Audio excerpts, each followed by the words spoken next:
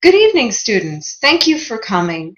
Uh, this is the third lecture in the Sociology 455 uh, lecture series uh, for organizational sociology. And uh, what I'd like to cover in this particular le lecture is Max Weber, I'll uh, return to Max Weber and kind of review a little bit about his concept of rationalization and his iron cage, his metaphor of the iron cage.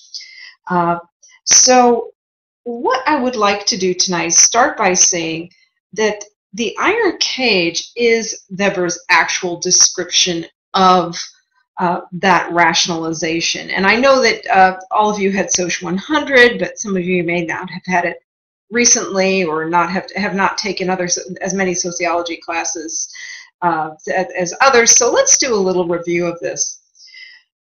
Max Weber proposed his rationalization thesis. Let's start with that. Rationalization thesis states uh, that rationalization refers to a historical drive towards a world in which, as Weber said, one can, in principle, master all things by calculation. And he really saw this as kind of uh, a, a, way for humans to really stymie their growth.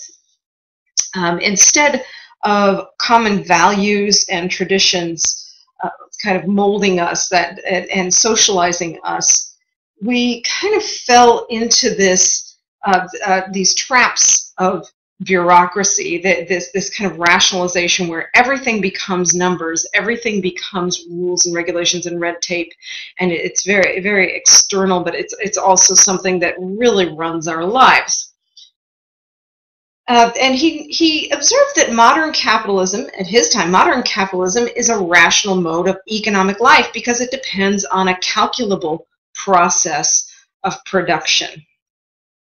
Okay, so things like monetary accounting, uh, especially double entry bookkeeping, centralized uh, production of control, production control, separation of workers from the means of production, um, influence and control uh, over workers' behavior, and other features that kind of make modern capitalism uh, qualitatively different from other modes of organizing economic life were kind of his targets in, in this. He was making a point saying suddenly the focus is on not just on commodities, but on numbers, on you know, reducing workers to numbers.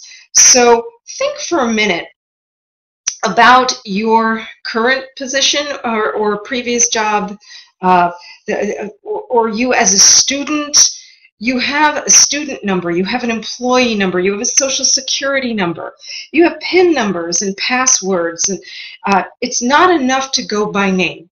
You, you are part of a numeric system. Everything is calculable, but it's also assigning kind of numbers to people, kind of uh, objectifying people from, from uh, Max Weber's point of view. Okay? And remember, I mean, he Max Weber, uh, you know, died in 1920. So we're talking about the late 1800s. He was born in 1864 and lived until 1920. You're talking about you know, what he saw 100 years ago, or or uh, even farther back. So I wonder sometimes what he would say about uh, about society today and this this uh, rationalization. Um, but he really kind of predicted it. So for the process of rationalization to happen, uh, in other words, to create calculability and predictability in political, social, and economic structures, in aspects of cultures such as values, uh, then aspects of culture such as values, ethics, religions, etc., and norms of behavior had to change. So the focus had to be on a much more sub, the, kind of more more subjectivity, making a, a, kind of a, a, pulling back where uh, there's not one set of, of general values, uh, not one set of ethics that is running kind of running the show uh, in terms of our, our society and how we behave, our social behavior. So think back, uh, possibly in your introduction to sociology course, you were introduced to the five primary elements of culture, which are symbols, language, uh, values, norms, and then material culture and technology are kind of lumped together in that fifth one. But don't you know don't uh, gloss over values. Now remember, norms are norms of behavior. That's expectations of behavior. But uh, sometimes people confuse these with values. Values are what we uh, hope to be, what we hope to achieve.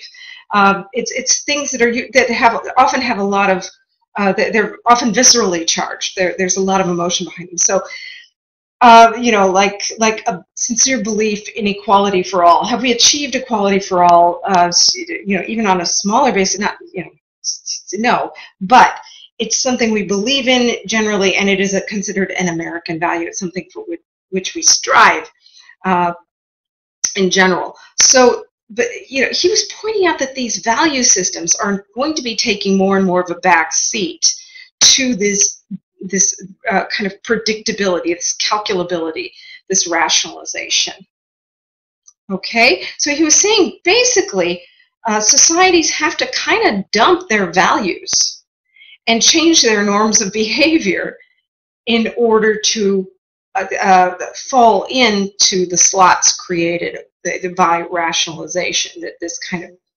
kind of uh, structure. And um, institutional rationalization, for instance, requires uh, the emergence and existence of a rational type of personality, which is kind of outlined in the Protestant ethic. Um, it's and, and, please understand we're not necessarily picking on Protestants or any any religious uh, uh, group in any way. What we're talking about is that cultural ethic where uh, you're never quite done. You're never you want to focus on work, on working. Um, yeah, and and it's it it the, the that Protestant ethic that that uh, which is quite you know I'm I'm giving you the nutshell version, uh, but he really kind of Weber was not a fan of the Protestant ethic. Let's just call it that, and when he talks about his iron cage, he really talks about how that Protestant ethic goes kind of made possible this heavy rationalization. And there are three processes of rationalization. First of all, there's an increasing knowledge, and that's to enable actions to be correlated to results. So if we produce this way, uh, we, production will increase. Okay? The second uh, process of rationalization is a growing impersonality, impersonal nature, impersonality. And that's an objectification of people. So workers become numbers in an accounting book. The market relationship between buyers and sellers is no longer tethered by relationships.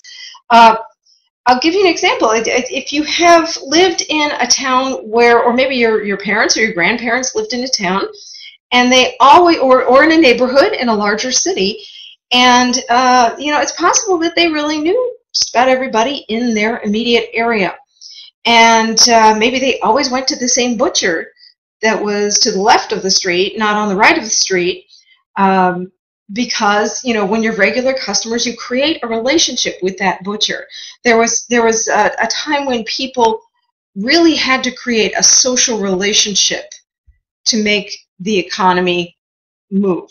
To, so you know you have your your favorite butcher you always go to them. Believe me they'll hear about it if you go to the other butcher.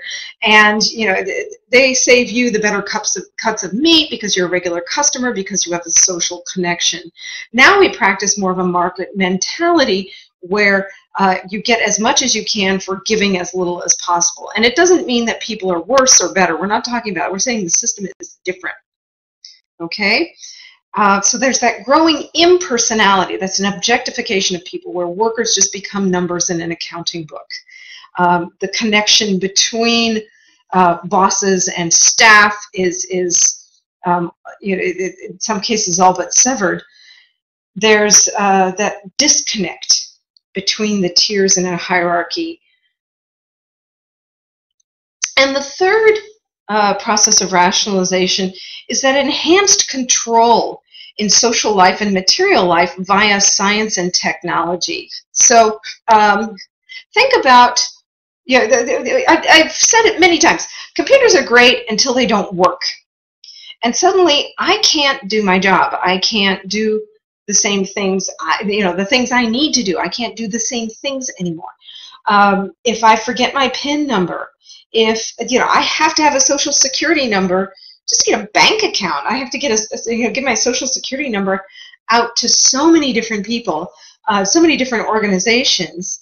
And, you know, a lot of that has to do with me being a number according to the U.S. government. And we always hear about somebody with the same name, you know, sometimes being declared dead. You hear about that that once in a you know a blue moon thing where somebody's declared dead, like no, I'm alive, but they cut off their social security because maybe Mary Brown in another uh, town uh, passed away, or Joe Smith from another town passed away, and and uh, they you know canceled the social security or social security of uh, of this of the wrong person. But for the most part, we are at least partially classified, if not to a great extent classified by the numbers in our life. We are kind of uh, check marks. Okay? Because, it, you know, with the United States population, how do you keep track of 320 million people in a country this large? You know, how do you do that? One of the ways you do that is, you know, you, you create this massive bureaucracy so it, you don't just trust the little communities to kind of sustain themselves. It's it's huge, massive uh, mega societies. Say. Okay. So what is the iron cage? These are the effects of rationalization. Okay, so th there are two effects that I wanted to, to address that are predicted by Max Weber. First of all, Weber thought the future of rationalization would be sort of a mechanized petrification and chaos, an inundation of subjective values.